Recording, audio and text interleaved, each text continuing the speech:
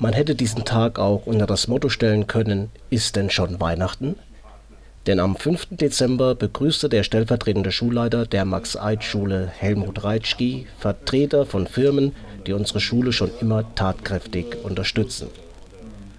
Auch an diesem Tag kamen die Gäste nicht mit leeren Händen. Der Bereich Fahrzeugtechnik erhielt vom Zentralverband Karosserie und Fahrzeugtechnik und der Firma Sonic Equipment einen Werkzeugwagen mit entsprechendem Inhalt. Thomas Augmann, der designierte Hauptgeschäftsführer des ZKF, betonte das Interesse seines Verbandes an gut ausgebildetem Nachwuchs. Highlight des Tages war die Vorführung der CNC Plasmaschneidanlage, eine Spende der Heinz und Gisela Friedrichs Stiftung.